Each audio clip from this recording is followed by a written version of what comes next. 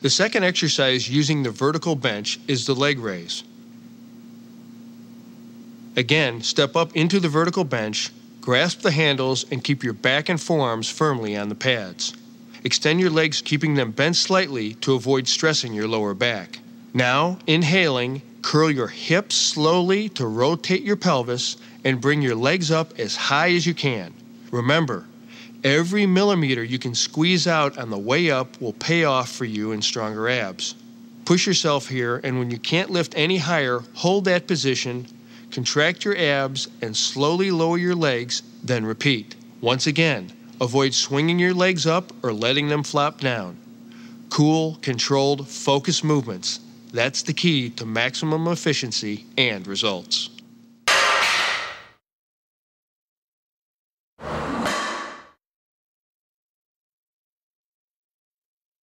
To work your upper abs and obliques, adjust the bench so that your calves are resting on the pads and your ankles are snugly under the foot rollers. Sitting up straight, place your hands lightly behind your head and lower your torso slowly toward the bench and stop at about a 30 degree angle between your back and the bench. Inhaling and holding your breath as you crunch, twist as you come up, bringing your elbow toward the opposite knee. Don't jerk or thrust or sway or swing as you come up. Just nice and easy, nice and steady. Get a good contraction as you twist into the end of the motion. Hold a second, then follow the same twisting arc in reverse, lowering yourself again to about 30 degrees off the bench. Do all your reps for one side of the body, and when you've worked that side, then switch over to the other side, twisting the other way. If you're not able to do very many reps, use less of an angle of decline. Conversely, if you feel you're not getting enough resistance, increase the angle and go for it. Just a cautionary note, and we will make this point a few times in this program. Don't overdo the angle downwards. Keep it 45 degrees or less. There's no great benefit to going past that. We're going to increase the sets up to four for the advanced program. That means we're going to move through four sets of hanging leg raises, 12 to 20 reps, then four sets of cable crunches, 12 to 20 reps, and then we'll finish with four sets of oblique cable crunches, also for 12 to 20 reps. As always, watch our experts for perfect technique.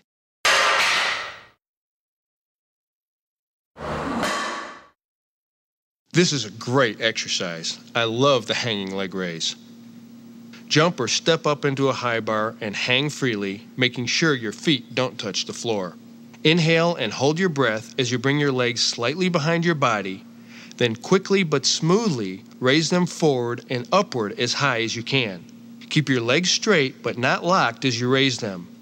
At their peak, slightly above parallel to the ground, hold the contraction for 1 to 2 seconds as you exhale. Then relax slightly as you return to the hanging starting position. Pause momentarily, then repeat. If this exercise is too hard at first, bend your knees a little bit more as you raise your legs. The key here to really work the abs is to lift high. Because until you hit 30 or 40 degrees here, your hip flexors are doing most of the heavy lifting.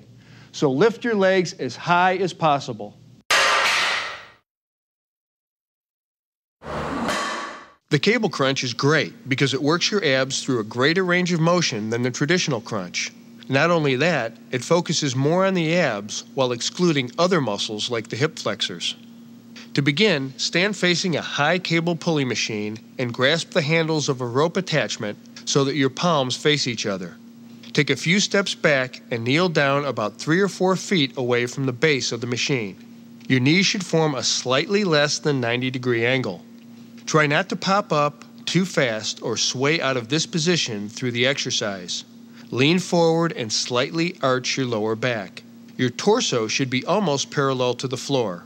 Bend and hold your arms at a 90 degree angle over your head. Now slowly contract your abs so that they pull your torso toward the floor until your elbows approach your knees. All this motion should originate from here, from the lower vertebra, and then move upward. If your hips get involved, you're limiting the effectiveness of the exercise. Same is true if you're pulling with your arms. So focus and contract your abs, which will do all the work of flexing your torso forward, and you'll end up with a rounded back like this at the end of the movement. Right here, at the bottom of the movement, concentrate on squeezing your abs. Pause, then slowly return to the starting position and repeat. Remember, move slowly and deliberately and don't let momentum do the work for you. That's the cable crunch. Simple, powerful, thorough. This exercise offers a smooth range of motion as you work your obliques. Facing the machine, kneel down three or four feet in front of a rope handle connected to a high pulley. Turn your body about 45 degrees so you're at an angle to the machine. Then grasp the rope near the top or back of your head, elbows bent, and lock your arms in this position. All right, we're ready to begin. Inhaling, twist away from the machine to the opposite side.